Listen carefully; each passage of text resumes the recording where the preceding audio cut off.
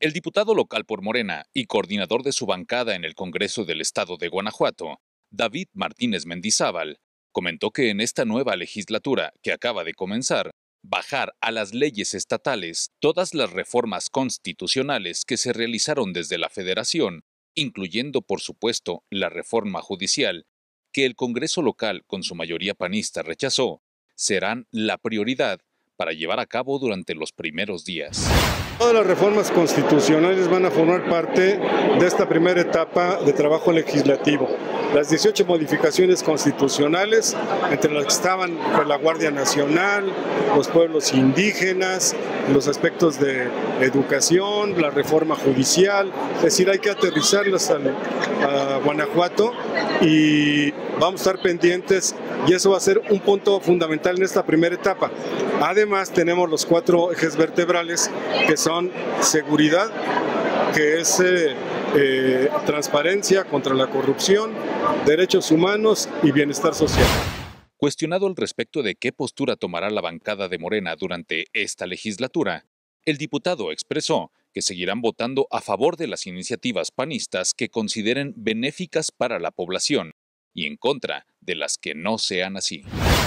Y hemos aprobado todas las reformas, independientemente si son del PRI, del PAN, de Movimiento Ciudadano, que son benéficas para la, la, población guanajuatense. Todo lo que sea en beneficio de la población, vamos a votar a favor, como hasta ahora. Nada más chequen cuántas iniciativas hemos votado positivamente del resto de los partidos. Entonces, vamos a continuar con todo lo que... Nuestro foco fundamental es la población guanajuatense.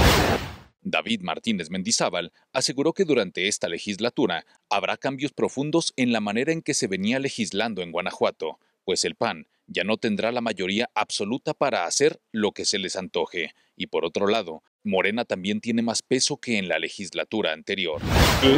La diferencia fundamental entre esta legislatura y la otra es el apoyo de la gente.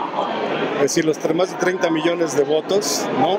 nos dan un mandato clarísimo, el 60% de la votación nos da un espaldarazo suficiente como para seguir impulsando el programa eh, de gobierno de, emanado de Morena y la eh, actividad legislativa, ¿no? la agenda legislativa. Eso para mí es fundamental. No es lo mismo ¿no?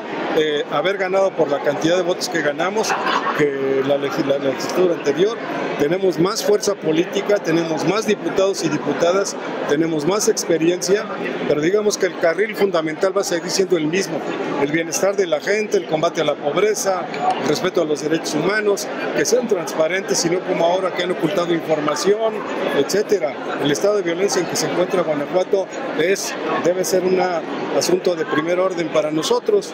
Entonces, pero la, diferencia es que tenemos muchísima más eh, gente a nivel nacional en Guanajuato eh, que en la anterior ocasión. Aquí ganó Claudia. Para el sistema de noticias de TV Libertad, con imágenes de Victoria Vera, Héctor Almaguer.